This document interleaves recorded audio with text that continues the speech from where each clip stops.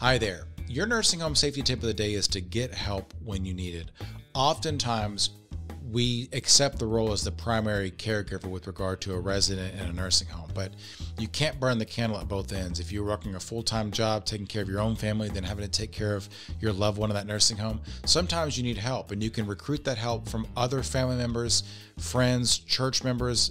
Do what you need to do so that you don't burn out because if you burn out, then chances are no one is going to see that resident and they'll fall through the cracks. So get help when you need it from your family for your own sake, and that is your nursing home safety tip.